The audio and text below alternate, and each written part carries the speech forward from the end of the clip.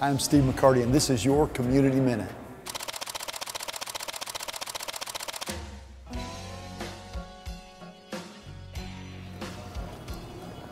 I love a good cup of coffee. My appreciation for coffee increased when we lived in the country of Costa Rica as missionaries. It's a place where some of the best coffee in the world is grown. But you know what makes a good cup of coffee a great cup of coffee? Not what you put in the cup, but who you put around the cup. I want you to think about this. When you share coffee or anything else you love with people that you know, with people that you care about, doesn't it make the experience better and fuller for you? Not just for you, but for them as well. So I want to encourage you as we talk about making Trussville a better place. Share the things you love with those you know. Find someone that needs a friend and invite them to a cup of coffee.